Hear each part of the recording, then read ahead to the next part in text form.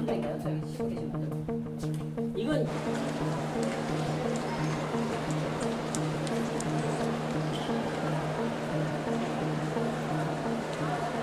피해자와 같은 성별, 연령대의 일반적이고도 평균적인 사람들의 입장에서 성적 욕망 또는 수치심을 유발할 수 있는 신체에 해당하는 여부를 고려한 것 아울러